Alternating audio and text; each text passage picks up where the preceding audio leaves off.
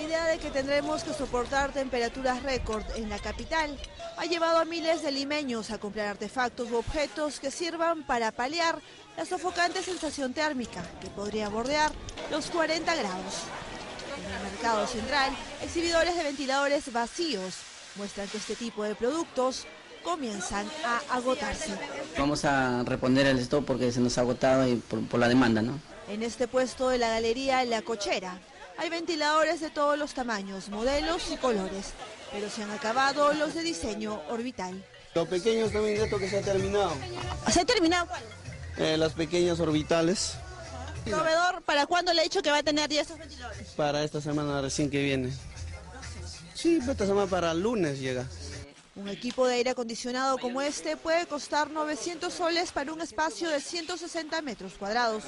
Pero sin lugar a dudas, el artefacto más preciado por estos días sigue siendo el bendito ventilador. Nosotros aprovechamos los minutos de esta nota para refrescarnos. ¿Cuánto me cuesta este?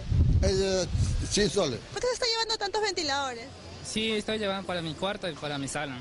¿El cuarto también mucho calor? Sí, hace mucho calor, señor. Si cree que necesita mucho espacio para instalar este tipo de artefactos, se equivoca. Le presentamos al ventilador más pequeño que se carga en su smartphone y cuesta solo 7 soles. La mala noticia es que también se acaba. Este lo puede utilizar también en, en una PC, una agarra y lo pone ahí. No tengo que prender nada. Solamente conectarlo. Señor, ¿y cuánto me cuesta esta maravilla? Porque en realidad debe ser muy útil. Siete soles. Siete. Mira, Lucho. O sea, uno ya va llamando. Qué creativo, señor. ¿Y cuántos tiene? Le están saliendo bastante, imagino. Sí, ahora en esta temporada está saliendo bien. Ventiladores para ¿Cuántos hacer... tiene usted ya en stock? ¿O ya se le están agotando? Ya se me están agotando. ya. Esta es la larga fila que se ha formado frente a las oficinas de RENIEC y como ven, la mayoría de personas tienen una sombrilla a la mano. Y es que este es uno de los productos que tienen mayor demanda por estos días de calor en el mercado central.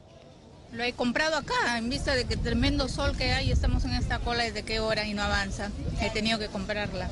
¿Cree que han subido los precios de las sombrillas? Uy, ya se pasaron, se pasaron, subido bastante los, la sombría. ¿Cuánto costaban antes y cuánto cuestan ahora? Antes costaban 12 soles, ahorita está 20, 20 25. Este tiene más salida, cuesta 10 soles no, más barato.